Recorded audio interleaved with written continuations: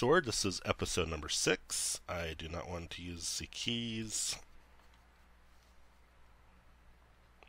And this is powered by Unity. I'm going to restart this episode, so next episode will be episode number six.